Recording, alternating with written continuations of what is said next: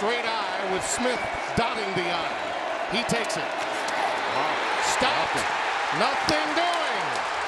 Ball is loose again. The Boilers have it at the 20. Markus Bailey, number 21. Well, grand larceny at the one for Purdue. Twice tonight it's happened.